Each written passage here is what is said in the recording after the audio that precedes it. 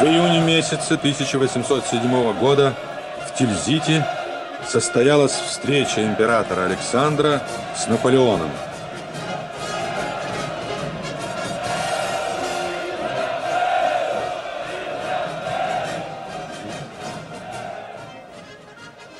Жизнь, между тем, настоящая жизнь людей с своими существенными интересами здоровья, болезни, труда, отдыха, своими интересами мысли, науки, поэзии, музыки, любви, дружбы, ненависти, страстей, шла, как и всегда, независимо и вне политической близости или вражды с Наполеоном Бонапарте.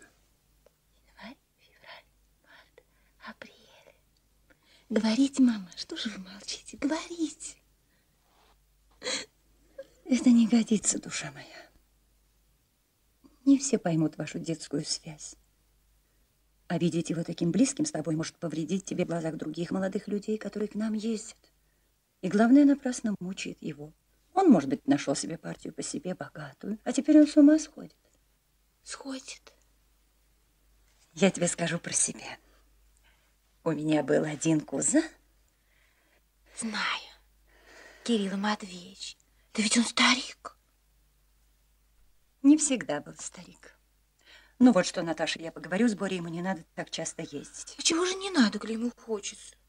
От того, что я знаю, что это ничем не кончится. Нет, мама, вы уж не говорите, ну что за глупости? Ну не выйду замуж, так пускай ездит. Коли ему весело, и мне весело. Ну, не замуж, а так. Как же это, мой друг? Да так. Ну, очень нужно, что замуж не выйду. А так? Так. Полноте смеяться. Перестаньте. Всю кровать трясете. Ужасно вы на меня похожи. Такая же хохотунья. Постойте. Мама. А он очень влюблен. Как на ваш взгляд? Вас были так влюблены. И очень мил. Очень-очень мил. Только не совсем в моем вкусе. Он узкий такой, знаете, как часы столовые. Вы не понимаете? Нет. Узкий, знаете, серый, светлый. Что ты врешь? Неужели вы не понимаете? Вот Николенького понял. Вот Безухов тот синий, темно-синий с красным. И он четвероугольный. Ты с ним кокетничаешь? Нет, он франмасон, он славный. И он темно-синий с красным. Ну, как вам растолковать? Трофимушка, ты не спишь?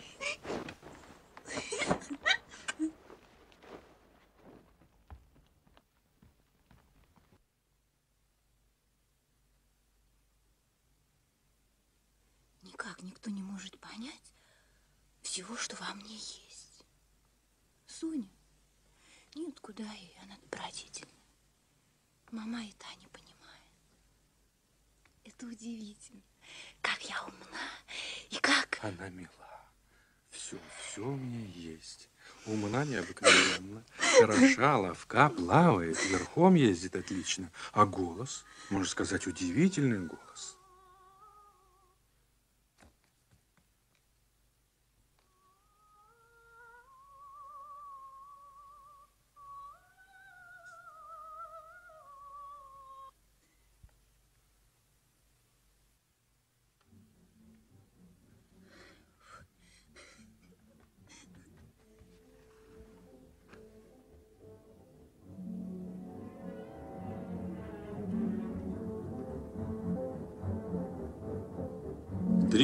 31 декабря, накануне нового 1810 года, давался бал у Екатерининского вельможи.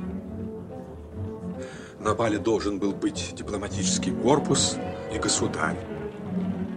Ростовы были приглашены, и Наташа собиралась на первый большой бал в своей жизни. Не так! Не так, Соня! Не так, пан, поди сюда! Сейчас, сейчас! А вы готовы, мама? Только топку приколоть. Не делайте без меня! Вы не сумеете! Да уж дети.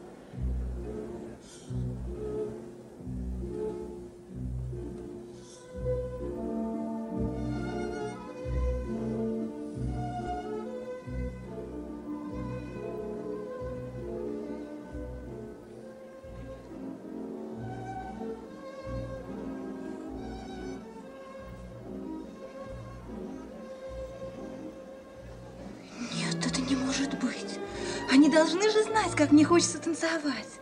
Как я отлично танцую, и как им весело будет танцевать со мной.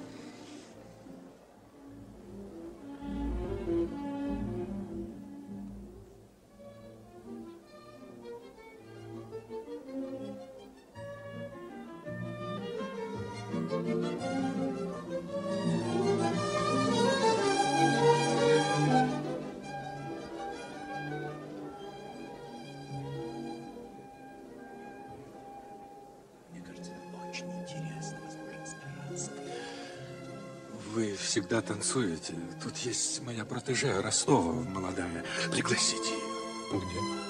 А, Виноват. Этот разговор мы в другом месте доведем до конца. А на бале надо танцевать.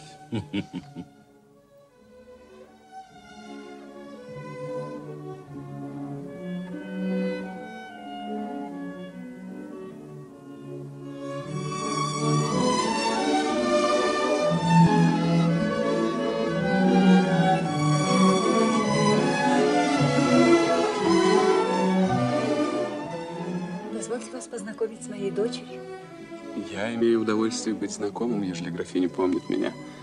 Разрешите предложить тур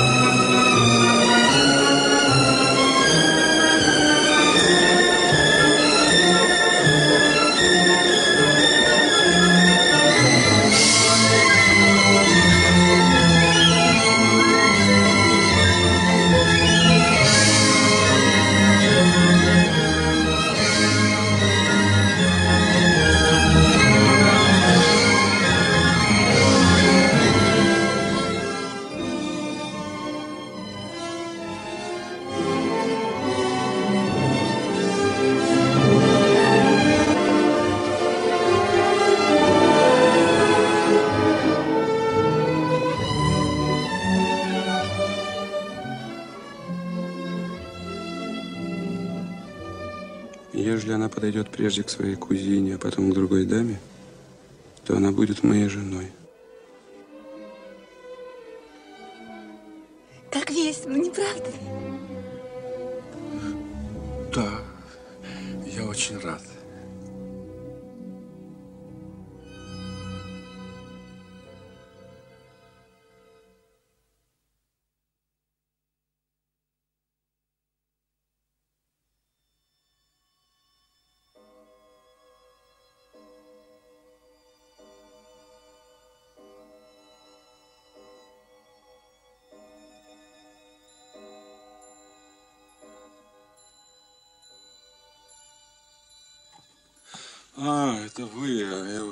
Работаю. Ну, душа моя, я вчера хотел сказать тебе, и нынче за этим приехал к тебе. Никогда не испытывал ничего подобного.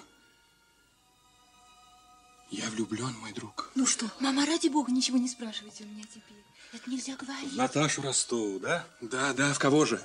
Никогда бы не поверил, но это чувство сильнее меня. Я не жил прежде, теперь только я живу, но я не могу жить без нее.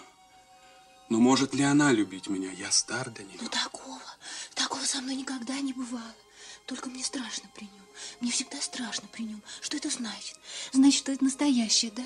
Что ты не говоришь? Да, я... Я... Что я говорил? Мама, вы спите. Нет, душа моя, мне самой страшно. Иди. Все равно я не буду спать. Что за глупости спать? Мама, мама, такого со мной никогда не бывало. Эта девушка такое сокровище, такое... Это редкая девушка, милый друг, я вас прошу, вы не умствуйте, не сомневайтесь. Женитесь, женитесь, женитесь. И я уверен, что счастливее вас не будет человек. Но она... Она любит вас. Не говори вздоров. Любит, я знаю. Нет, слушай, ты знаешь ли, в каком я положении? Мне нужно сказать все кому-нибудь. Ну, ну, говорите, я очень рад. Надо было ему нарочно теперь, когда мы здесь, приехать в Петербург. И надо нам было встретиться на этом бале. Все это судьба. Ясно, что это судьба, что все велось к этому. Это совсем не то чувство, которое было у меня прежде. Весь мир разделен для меня на две половины. Одна она, и там все счастье, надежда, свет. Другая половина все, где ее нет. И там все уныние и темнота. Темнота и мрак, да-да, я понимаю. Я не могу не любить света, я не виноват в этом. И я очень счастлив. Ты понимаешь меня, я знаю, что ты рад за меня. Да-да. Голубушка, маменька, как я вас люблю, как мне хорошо.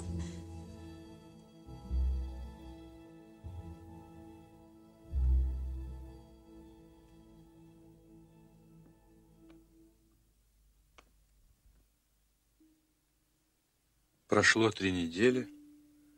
Балконский ни разу больше не появился у Ростовых.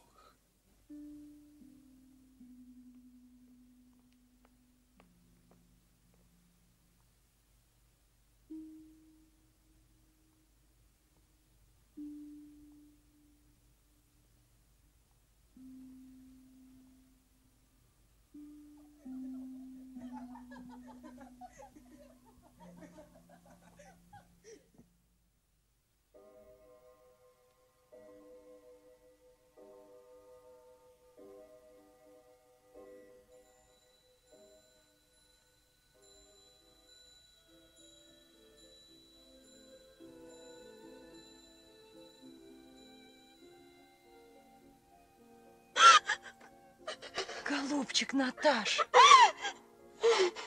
Может быть, он болен, ведь он ранен под Аустерлицем или занят. Перестаньте, мама. Я не думаю, не хочу. Да, поездим, перестал. Перестал. И совсем я не хочу выходить замуж. Я его боюсь. Я теперь уже совсем, совсем успокоилась.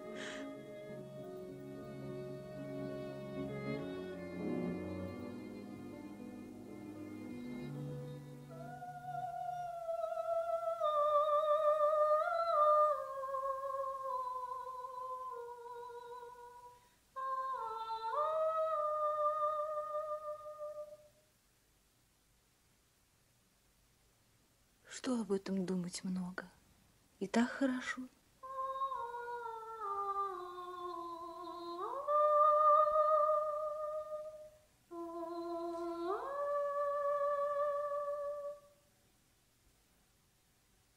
Вот она я.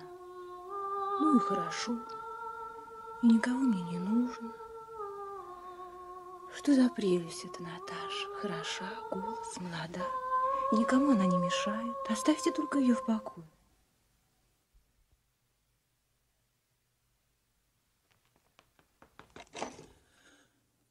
Мама, Балконский приехал.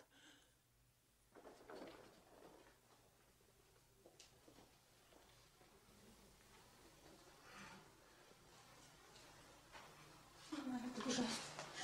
Это несносно. Я не хочу мучиться. Что мне делать? Кто приехал? Когда? Полная Наташа.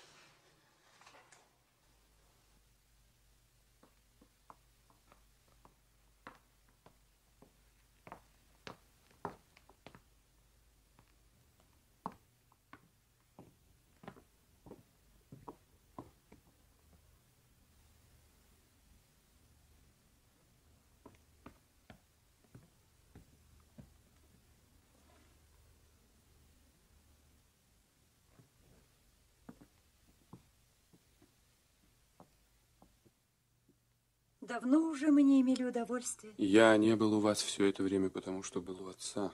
Мне нужно было с ним переговорить о весьма важном деле. Я вчера ночью только вернулся.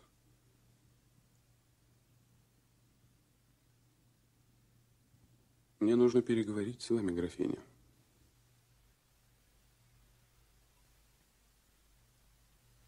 Пойди, Наташа, я позову тебя.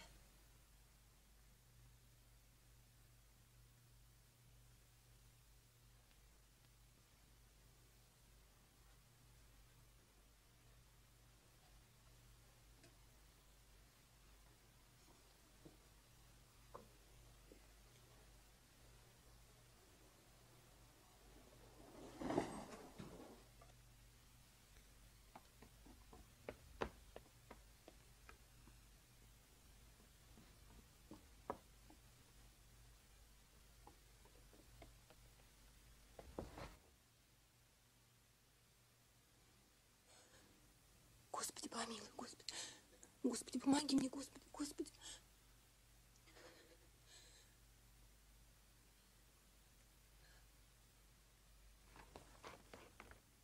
Что, мама, что? Пойди, пойди к нему. Он просит твоей руки.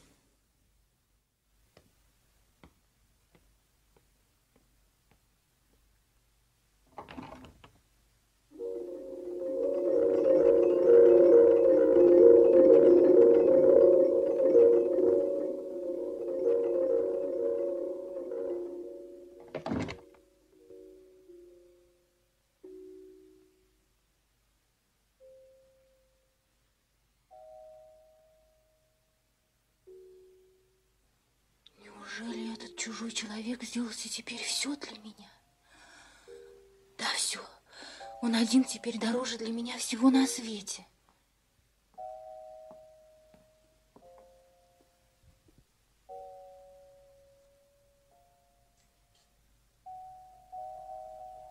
Я полюбил вас с той минуты, как увидал вас.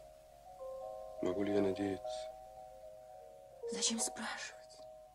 Зачем сомневаться в том, чего нельзя не знать? Зачем говорить, когда нельзя словами выразить того, что чувствуешь? Любите ли вы меня? Да.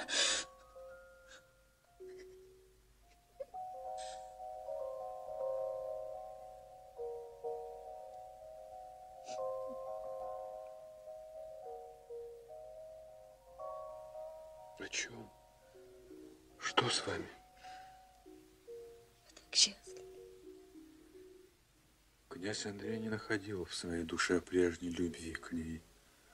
В душе его вдруг повернуло что-то. Не было прежней поэтической прелести желания, а была жалость к ее женской и детской слабости, был страх перед ее преданностью и доверчивостью. Настоящее чувство, хотя и не было так светло и поэтично, как прежде, было серьезнее и сильнее. Сказала ли вам мама, что это не может быть раньше года? Неужели это я? Неужели я теперь с этой минуты жена? Равная этого чужого, милого, умного человека, уважаемого даже отцом моим. Неужели это правда? Неужели правда, что теперь уже нельзя шутить с жизнью? Теперь уж я большая. Теперь уж лежит на мне ответственность за всякое мое дело и слово. Да, что он спросил у меня? Нет. Простите меня, но вы так молоды, а я уже так много испытал в жизни.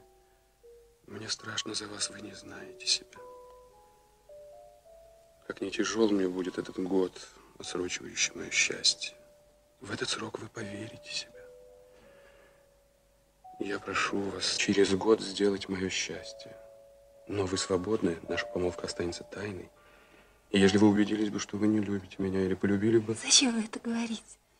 Вы же знаете, что с того дня, как вы приехали в Отрадную, я полюбила вас.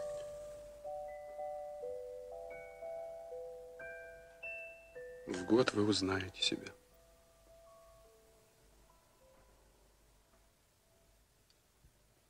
Целый год?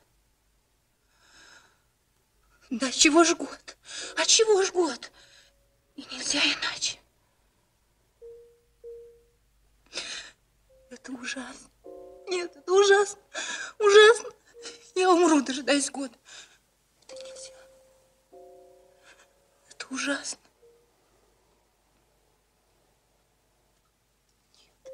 Нет, я все сделаю. Я так счастлива.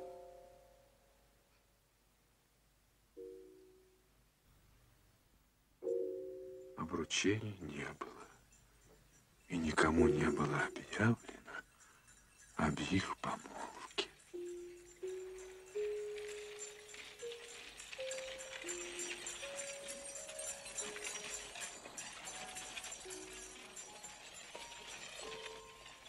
Не уезжайте. Я вас прошу, Наталья, я уеду.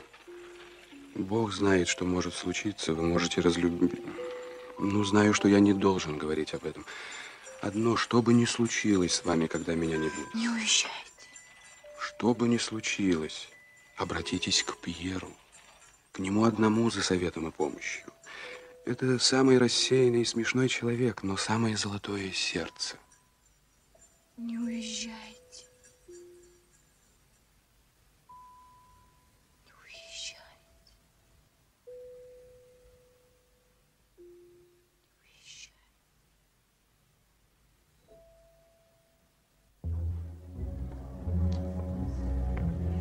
Как бы Пьер ужаснулся, ежели бы семь лет тому назад, когда он приехал из-за границы, кто-нибудь сказал бы ему, что ему ничего не нужно искать и выдумывать, что его колея давно пробита и определена предвечно. Иногда он утешал себя мыслью, что это только так, пока мест он ведет эту жизнь.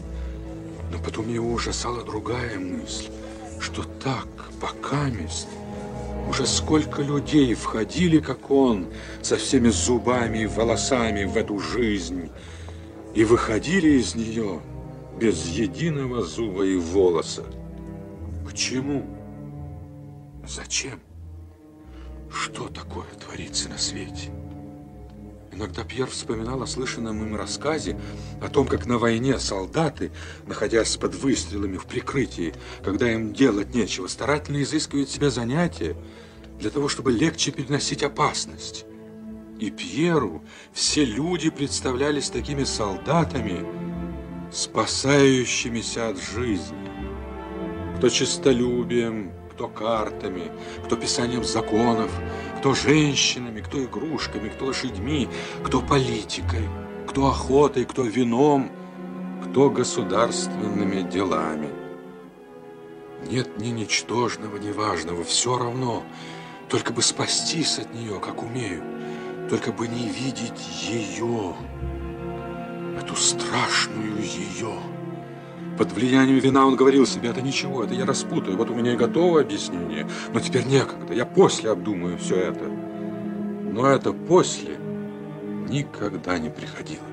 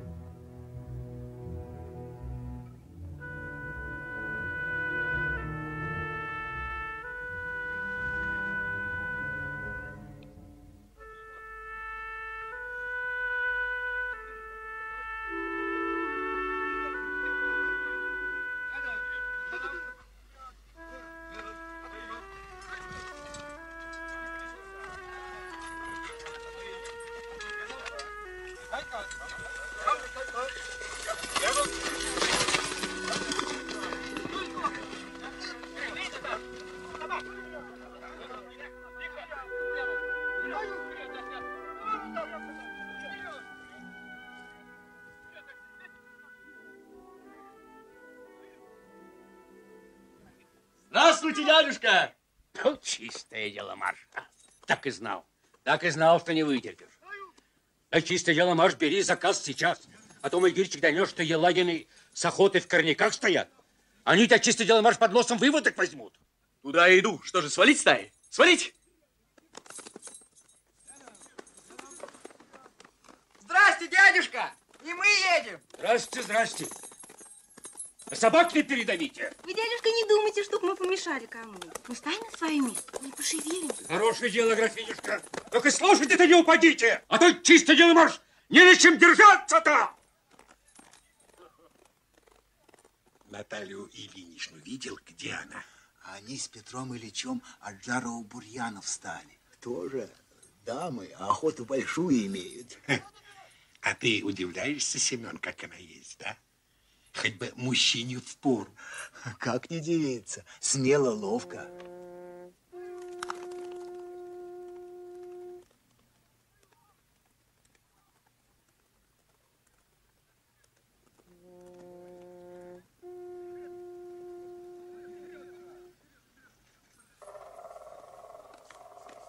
Настасья Ивановна, ты только топай зверя. Тебе Данила задаст. И я сам с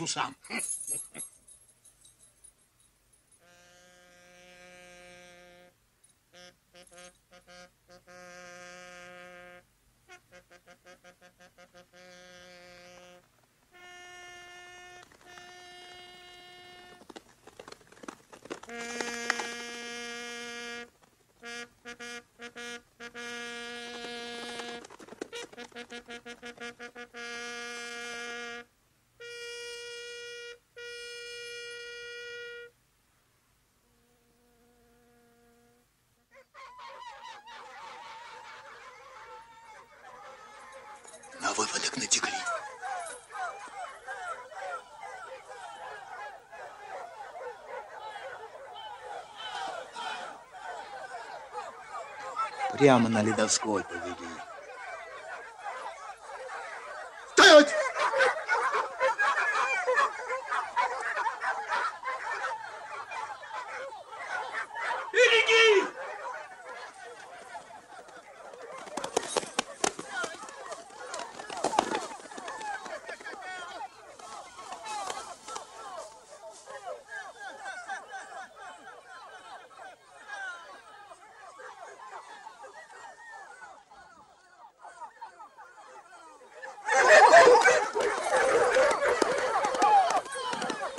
Жопа! Обстрели волка-то! Охотники!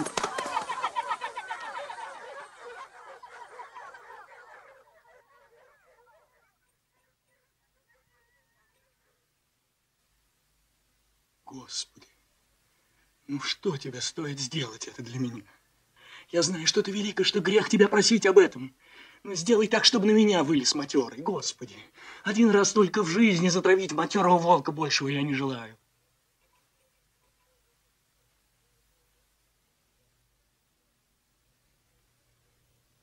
Назад или вперед? все равно вперед.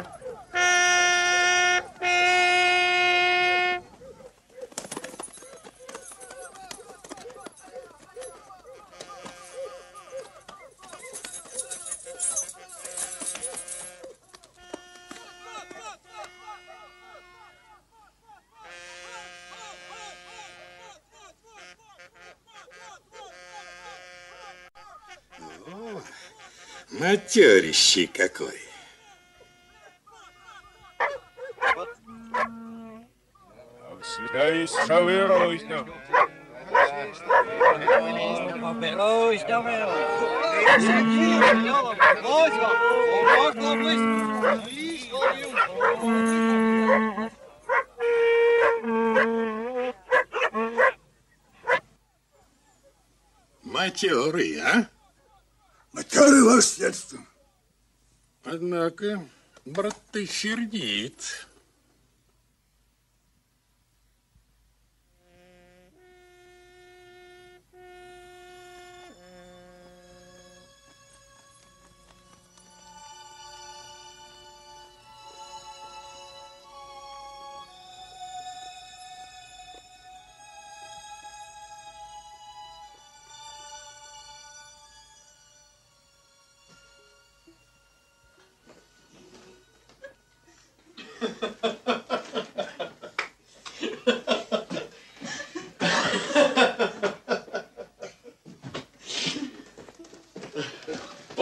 Графиня молодая.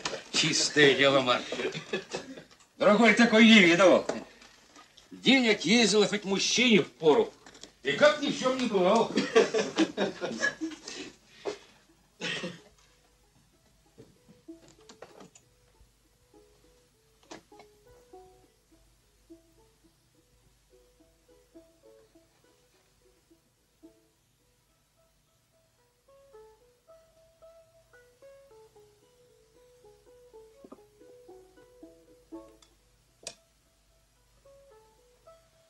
Покушайте, барышня, графинюшка.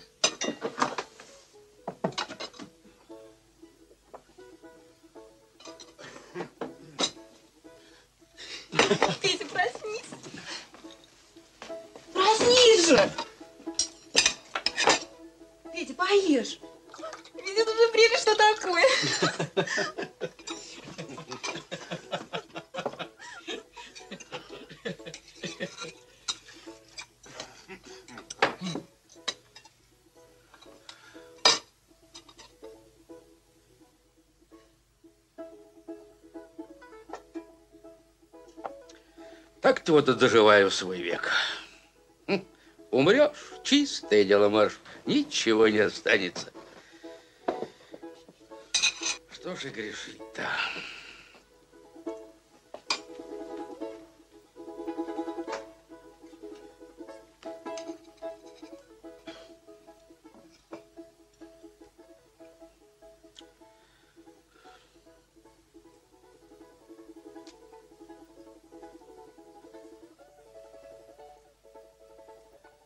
Отворите-ка дверь, что затворили?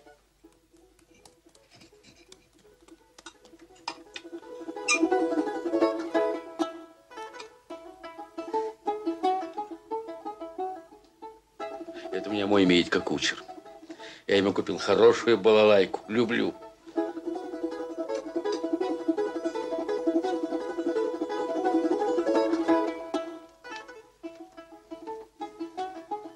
Как хорошо. Право, отлично. Как отлично. И отлично это прелесть, что такое.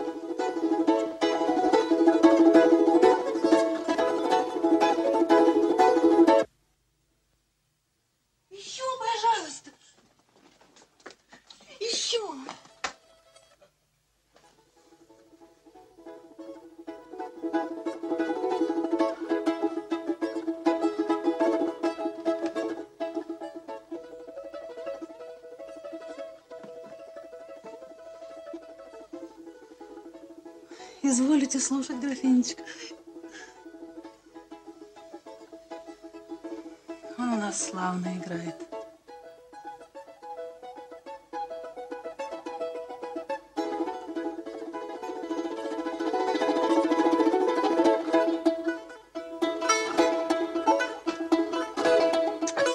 Вот в этом колене не то делает. Тут рассыпать надо, чистое дело, Маш. Рассыпать. Посмотри, Конечушка, что струн-то цел, что ли, на гитаре?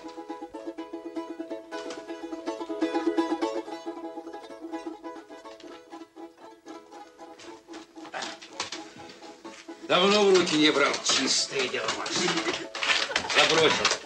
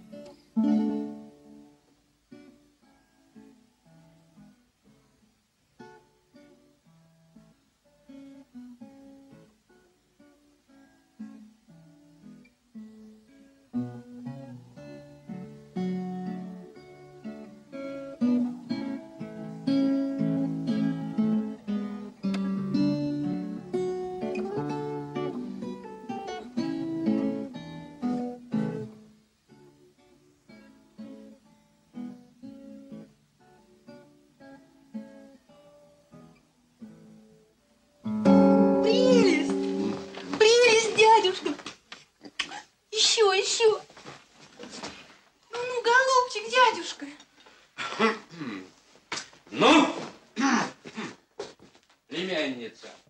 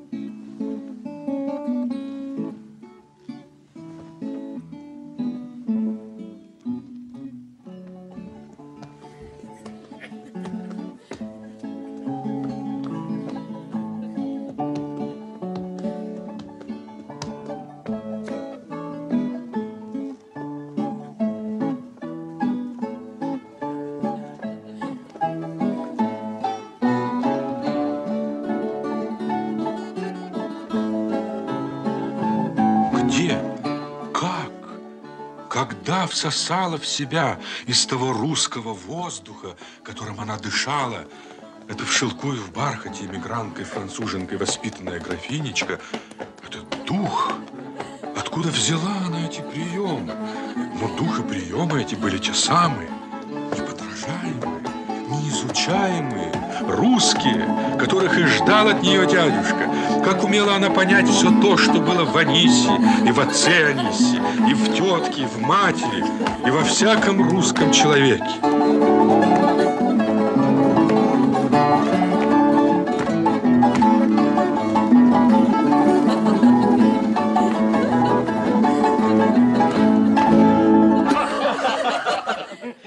Ну, графинечка, чистое дело, Марк. Ай да племянница. Вот только бы муженька тебе молодца выбрать, чистое дело, Марк. Уж выбрал. О, Еще как. Что значила улыбка Николая, когда он сказал «уж выбран»? Он как будто думает, что мой Балконский не одобрил бы, не понял бы этой нашей радости. Нет, он бы все понял. Где он теперь? Не думать, не смей думать об этом. Как со вечера пороша снегу выпадала,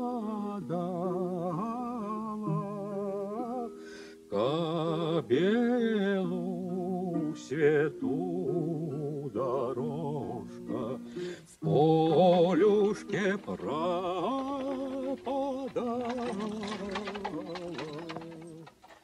Не крути на добра молодца, горе сокрушало. Погибает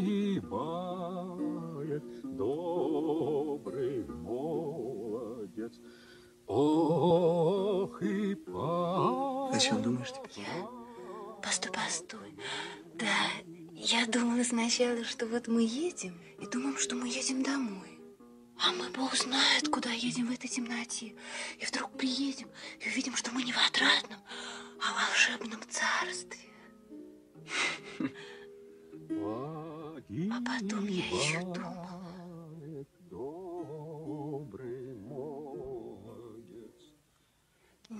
Ничего больше. Знаю. Верно, про него думал. Нет. А еще я все повторяю, всю дорогу повторяю. Как Анисюшка хорошо выступала. Хорошо.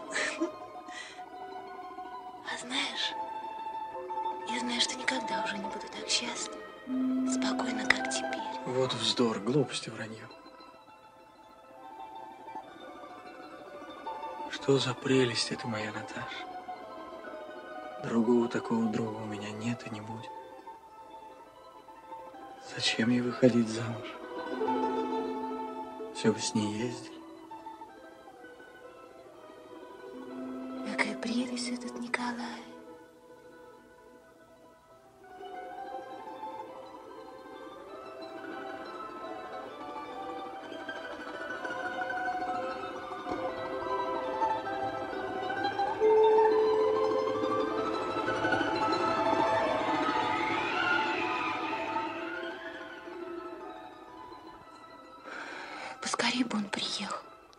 Я так боюсь, что этого не будет. А главное, я стареюсь. Вот что. Уже не будет того, что теперь есть во мне. А может быть, он нынче приедет, сейчас приедет. Может быть, он вчера еще приехал, я забыла.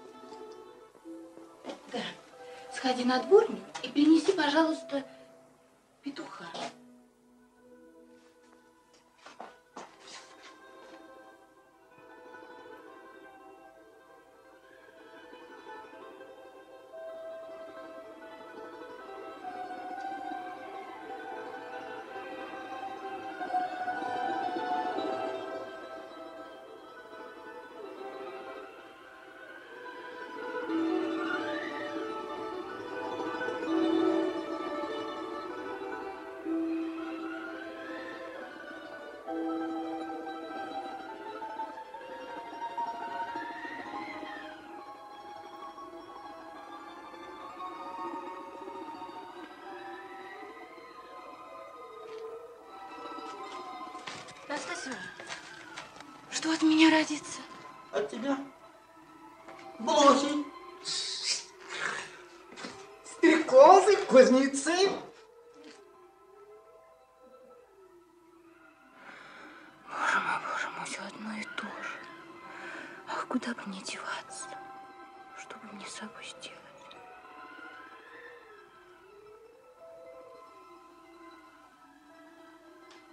Остров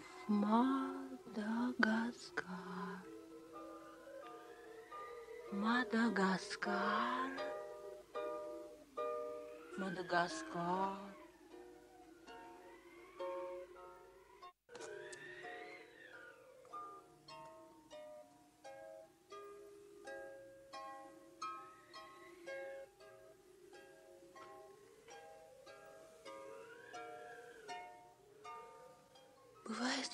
что тебе кажется, что ничего не будет.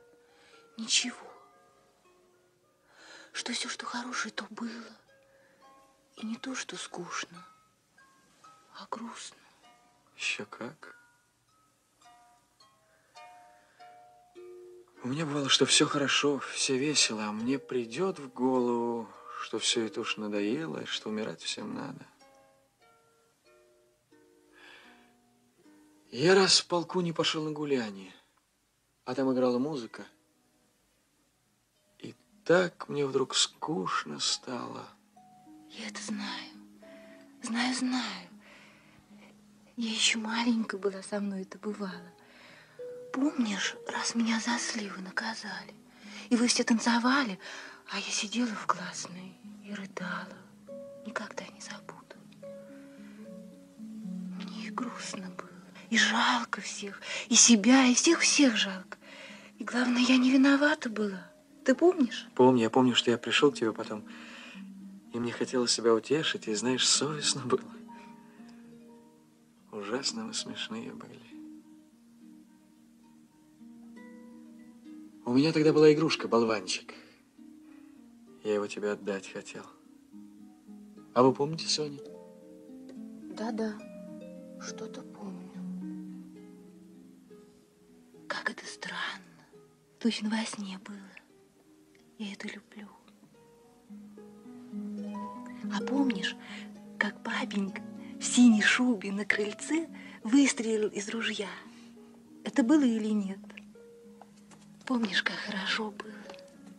Барышня, петуха принесли. Не надо, Поля. Вели отнести. Знаешь, я думаю, что когда так вспоминаешь, вспоминаешь, все вспоминаешь, до того вспоминаешься, что помнишь то, что было еще прежде, чем я была на свете. Это метампсикоза. Египтяне верили, что наши души были в животных и опять пойдут в животных. Нет. Знаешь, я не верю этому, чтобы мы были в животных. А я знаю, наверное, что мы были ангелами там где-то. И здесь были. И от этого все помню. Ежели мы были ангелами, так за что же мы попали ниже? Нет, это не может быть. Не ниже. Кто тебе сказал, что ниже?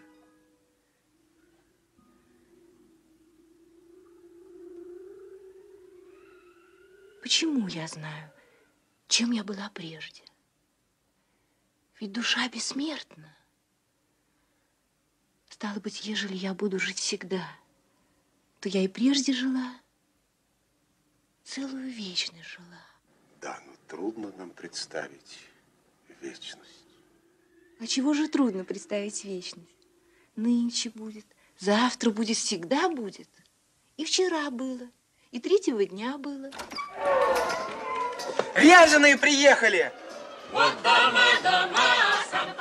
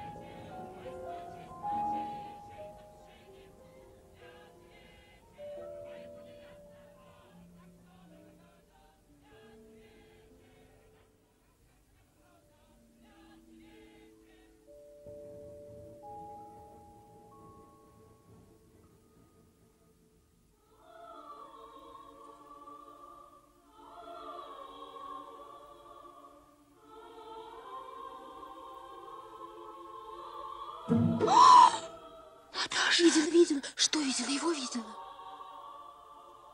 Да. Постой. Я видела его. Как же, как же? Стоит или лежит? Нет, я видела, то ничего не было. Вдруг вижу, он лежит. Андрей лежит, он болен. Нет, напротив, лицо веселое, он обернулся ко мне. А потом Соня. Тут я не рассмотрела. Что-то синее и красное. Соня. Когда же он вернется? Когда я его увижу опять? Боже мой, как я боюсь за него и за себя. И за все мне страшно.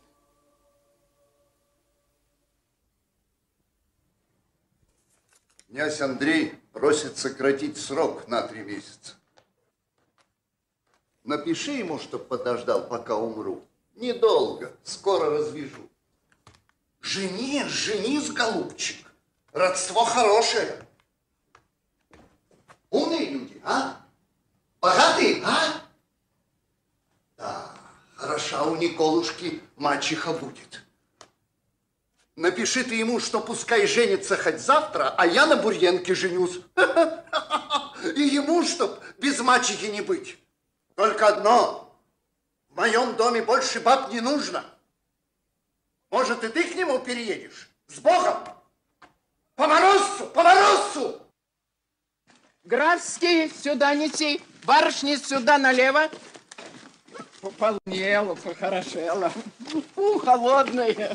Матушка Марья Дмитриевна, моя графинечка заболела, наш дом не топлен. Пользуясь твоим приглашением, нагрянул.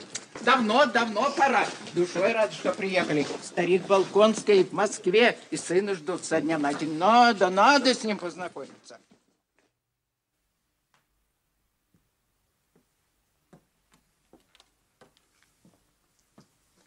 Их сиятельство князь принять не могут, а княжна просит к себе.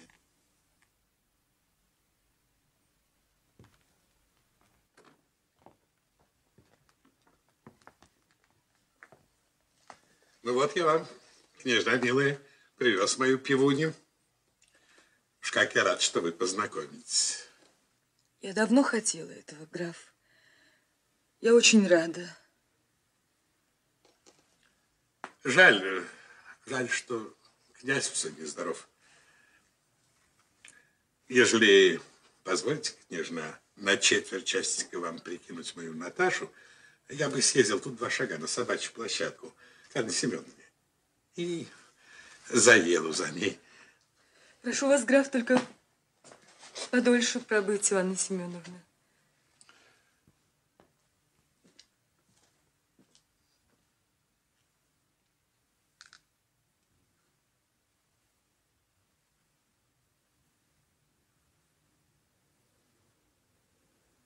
Милая Наталья, знаете, что я рада тому, что брат мой нашел счастье. Я думаю, княжна, что теперь неудобно говорить об этом.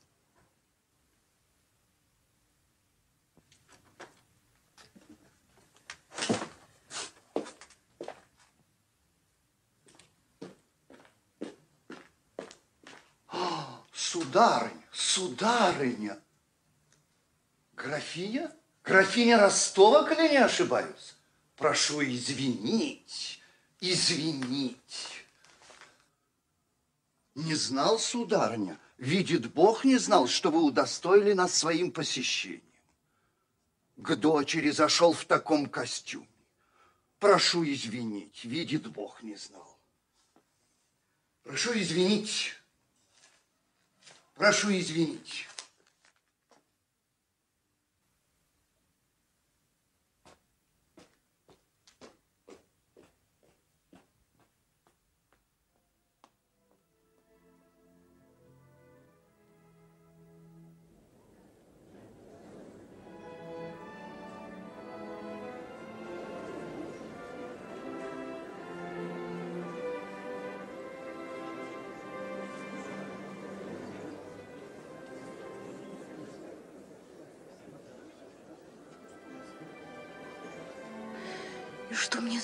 До его отца и сестры?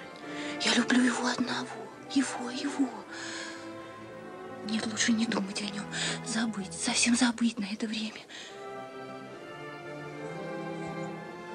Смотрите, Анна Михайловна наша в токе какой.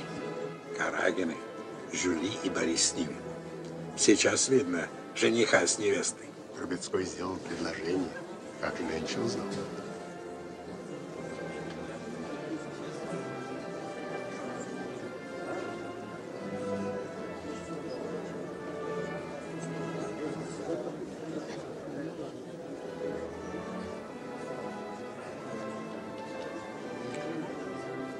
Давно пожаловали, графиня? А я вот тоже приехал по делам и девочек своих с собой привез. Бесподобно, говорят, Семенова играет.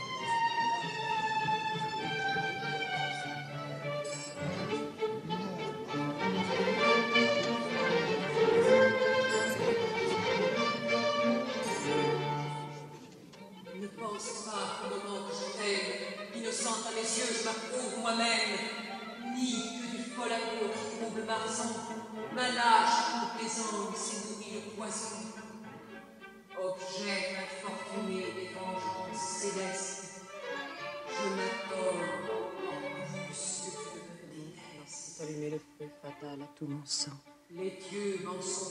dieux qui se sont fait une gloire cruelle de séduire le cœur d'une faible mortelle. Toi-même en ton esprit, rappelle le passé. C'est peu de t'avoir fui, cruel.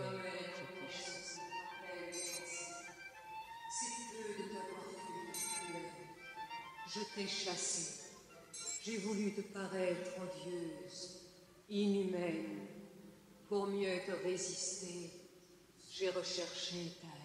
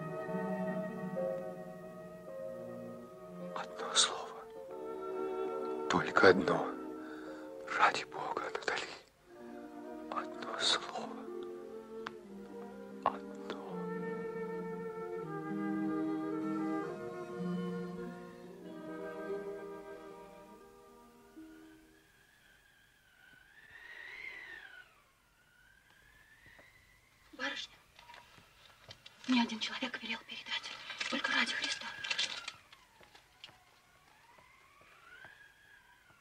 Со вчерашнего вечера участь моя решена. Быть любимым вами или умереть. Мне нет другого выхода.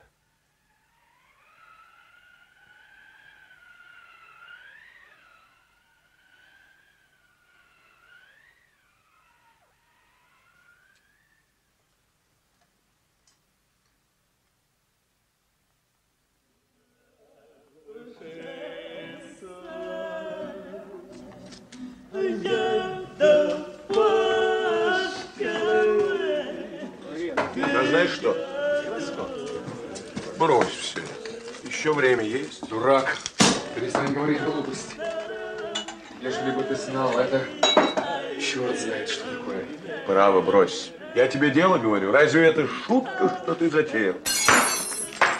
Ну, опять, опять дразнит. Пошел к черту, а? Я тебе помогал, но все же я тебе должен правду сказать. Дело опасное. И если разобрать, глупое. Ну, ты ее увезешь хорошо, разве это так оставит? Узнается дело, что ты женат, ведь тебя под уголовный суд подведут. Ах, глупость. Глупость. Ведь я тебе толковал, а?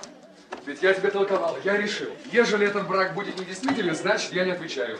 Ну, а ежели действительно, все равно. За границей никто этого не будет знать. Но ведь так? И не говори, не говори, не говори. Право брось, ты только себя свяжешь. Убирайся к черту!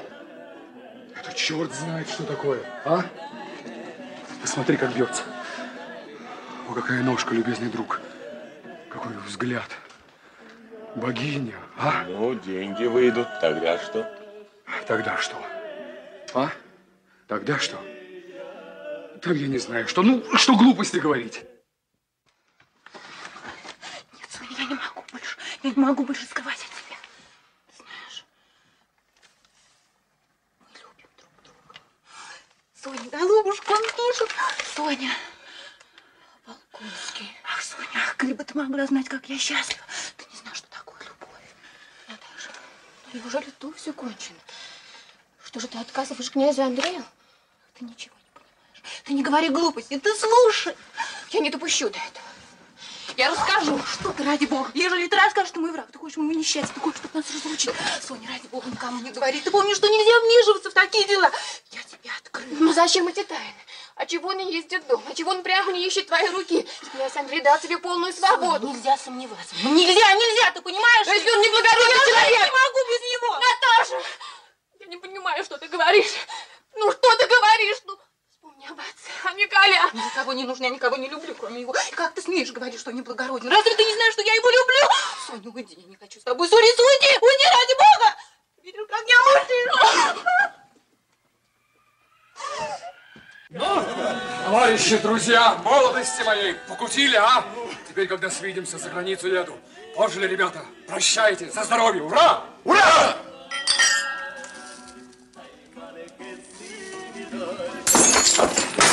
Ехать, ехать! А шуба где? Эй! Инашка! Поди к Матрене Матвеевне, спроси шубу салон с соболей. Она выскочит ни жива, ни мертва. В чем дома сидела, чуть замешкался. Тут и слезы, и папаша, и мамаша. И сейчас озябла и назад. А ты принимай шубу сразу и леси в сани. Дурак, я тебе сказал соболи. Эй, Матрешка! Соболи! Что ж, мне не жаль, ты возьми.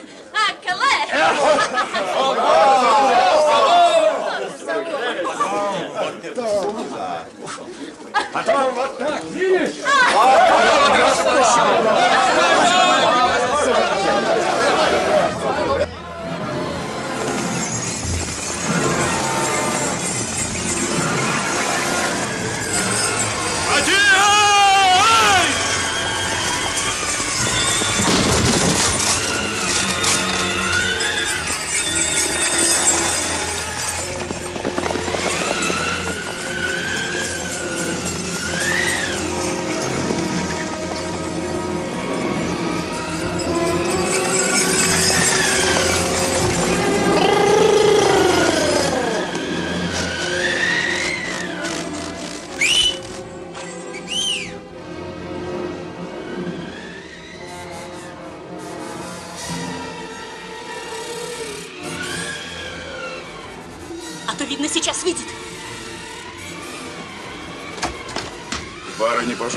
everybody.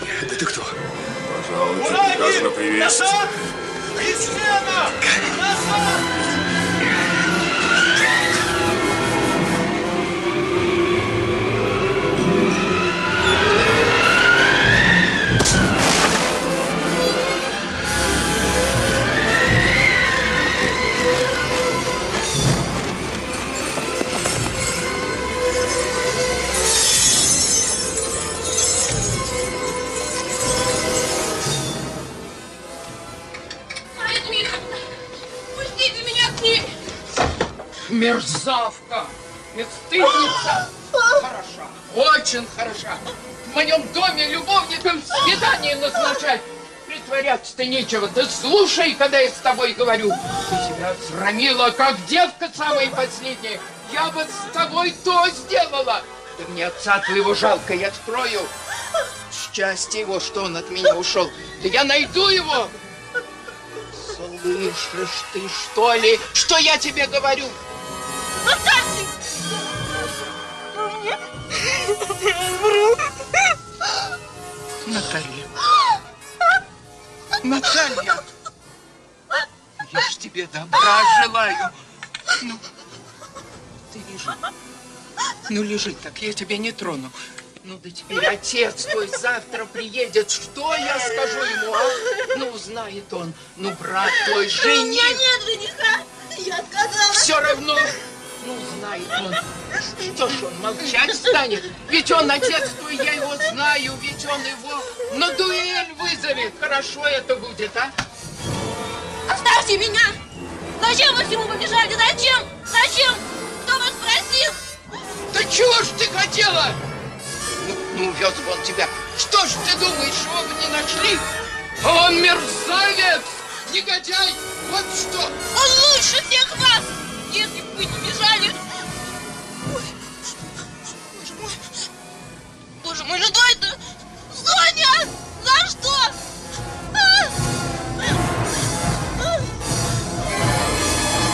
Уйдите! Вы где меня ненавидите? Не знаете?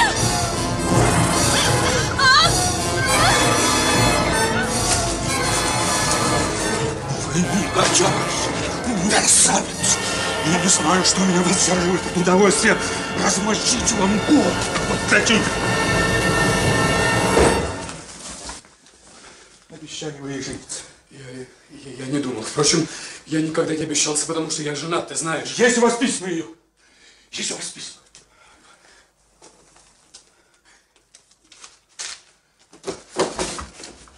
Я ничего не сделаю, не бойтесь.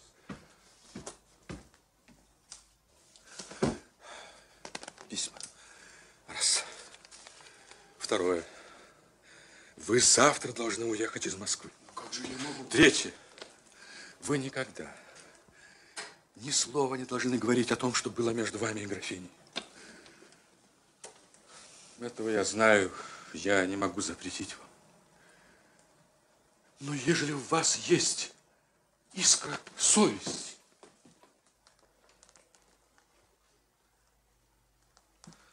забавляйтесь с женщинами, подобными моей супруге. С этими вы в своем праве. Они знают, чего вы хотите от них. Они вооружены против вас тем же опытом разврата. Но обещать девушке жениться на ней, обмануть, украсть. Как вы не понимаете, что это так же подло, как прибить старика или ребенка? Этого я не знаю, а? Этого я не знаю и знать не хочу, но... Вы сейчас сказали мне такие слова, подлые и тому подобное, которые я, как честный человек, никому не позволю. Хотя это и было с глазу на глаз, но я не могу.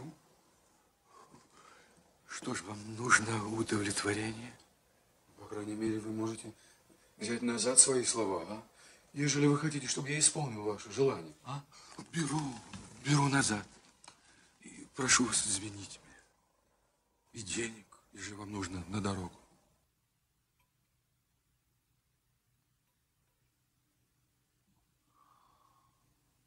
О, подлая, бессердечная порода.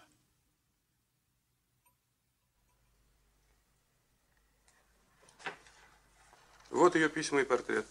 Отдай это графине, если ты увидишь ее. Она очень больна. Так она здесь еще? А князь Курагин? Он давно уехал. Она была при смерти. Очень сожалею об этой болезни. Но господин Курагин, стал быть, не удостоил своей руки графиню Ростову. Он не мог жениться, потому что он был женат. Где он теперь находится, ваш Шурин, могу ли я узнать? Он уехал в Петербург. Впрочем, я не знаю. Ну, да это все равно. Передай графине Ростовой, что она была и есть совершенно свободна, что я желаю ей всего лучшего. Послушайте, Помните вы наш спор в Петербурге? Помните? Помню, я говорил, что падшую женщину надо простить, но я не говорил, что я могу простить. Я не могу. Можно это сравнивать? Да, опять просить ее руки быть великодушным и тому подобное. Да, это очень благородно, но я не способен идти по следам этого господина. Если ты хочешь быть моим другом, не говори со мной никогда про эту... Про все это. Ну, прощай, так ты передашь.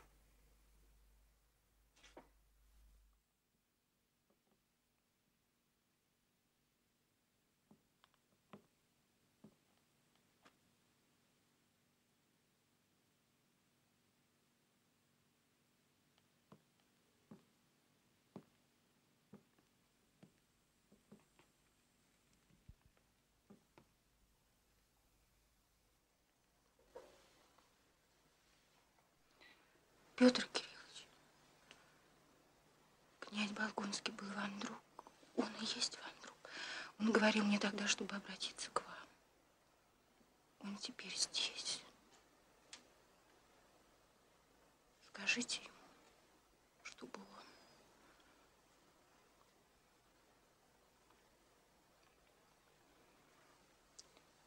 простил меня. Да, я скажу ему. Нет, я знаю, что все кончено. Это не может быть никогда. Меня мучает только зло, которое я ему сделала. Скажите только ему, что я прошу его простить. Простить, простить меня за все. Я скажу ему. Я все еще раз скажу ему. Ну, Я бы желал знать одно. Я бы желал знать, любили ли вы. Любили ли вы этого дурного человека? Называйте его дурным. Но я ничего, ничего не знаю.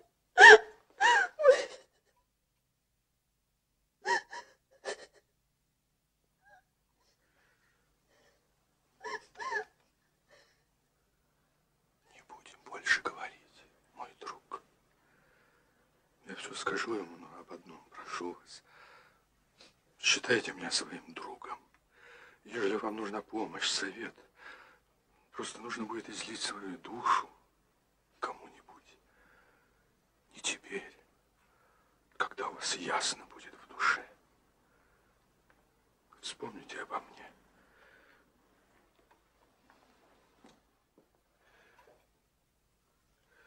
Я счастлив если в состоянии буду. Не говорите со мной так. Я не стою этого. Перестаньте, перестаньте. Вся жизнь впереди для вас. Для меня все пропало. Все пропало. Но если бы я был не я, а красивейший, умнейший и лучший человек в мире, и был бы свободен, я бы, я бы сию минуту на коленях просил руки и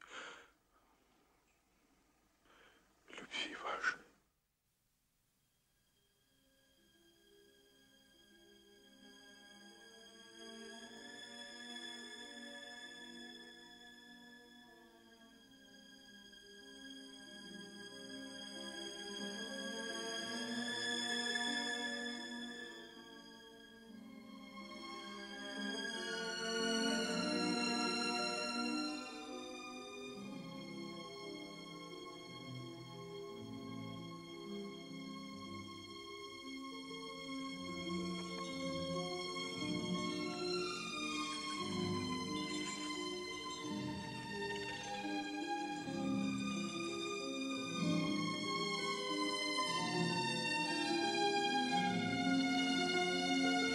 Казалось, что эта звезда вполне отвечала тому, что было в его рассветшей к новой жизни, размягченной и ободренной душе.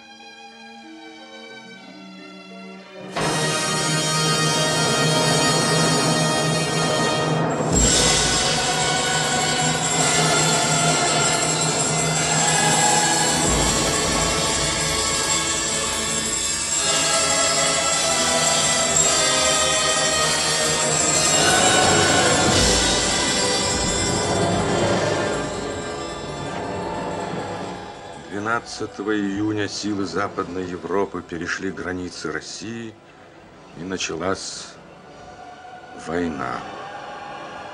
То есть совершилось противное человеческому разуму и всей человеческой природе событие.